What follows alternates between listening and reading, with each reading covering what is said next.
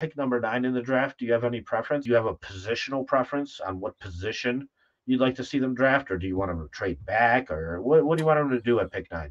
The long shot that I really th- am hoping for is that somewhere of the the Nabers, either Nabers or Harrison falls to nine.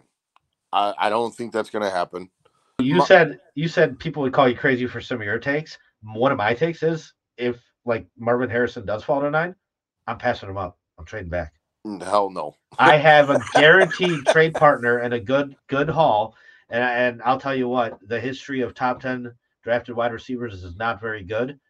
Mm. So I w- I'm inclined to trade back, but I I hear you, man. A lot of people love Marvin Harrison, so well, but that could happen. Like Jalen like Carter wasn't supposed to drop to nine, and he did. Yeah, of so course, you, you, don't know. Yeah, you don't know. Yeah, and you know, we passed on him too, and look how good he was. the best part about that entire thing was I love it how the uh, you know there were reports coming out that the Bears were thinking about taking him at number one. and then you get then you have a chance to get him at nine, and you completely pass on him again. nine, wide receiver three, though it's it's the slot wide receiver you're drafting, which Keenan Allen can play. That's fair. That's a fair opinion.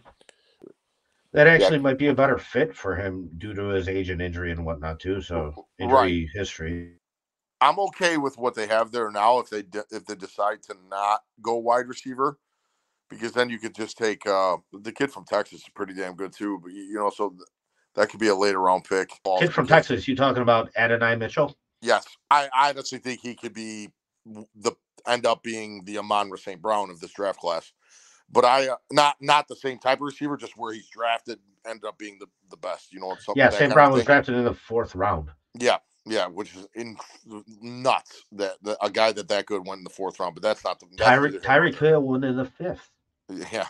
so I mean, it's not nuts. Like these wide receivers, they're deep. Well, so uh, the Notre Dame fan of me is hoping Alt falls because to get that caliber of a left tackle at nine, I mean, I Alt is unbelievable. You're talking, he's definitely the best uh, lineman in the class. It's not even close.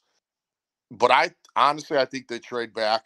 I think they trade back, get maybe a second or extra second or a third round pick I just think uh, I would rather have if one of those guys falls. I don't think you could trade back a Harrison, a Nabers, a Alt. You know, you get something along those lines. Uh, screw that. Just go with the four picks in the draft and go with those. Go with your your, your top your top the horses that you get in those first two picks. You still have a lot of draft capital next year. You could always trade up like into the second round if you need to with one of right. your third round picks. Right, correct. And you know, I mean, there's a you know, I, I don't think they move. I think they stay at nine, and you know something falls and they take them. And I mean, you're looking at a Caleb Williams, Joe Alt draft, and you're like, oh, it's two good picks in the first 10, 10 picks.